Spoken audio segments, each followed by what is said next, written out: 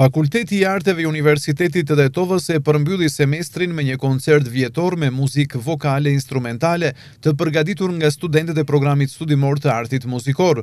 Shefi i programit studimor të artit muzikor Bajramali Idrizi tha se departamenti që ai drejton vite me radhë dy herë në vit organizon koncerte me muzikë vokale instrumentale. Studentët performojnë dhe me një fjalë mbyllin këtë vit akademik.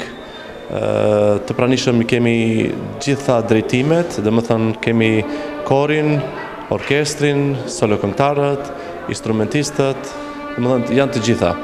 Natyrisht nuk janë në prezencë gjithë studentët, ngase programi do ishte atëherë afërsisht dy orë e gjysëm tre, Domethënë, nga kjo logjikë kemi minimizuar diku një orë.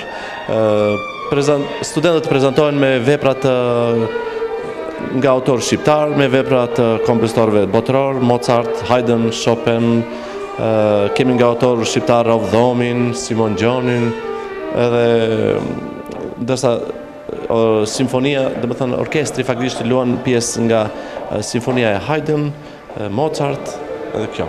Në këtë koncert morën pjesë profesorë dhe studentë të universitetit të Tetovës si dhe mysafirë të tjerë.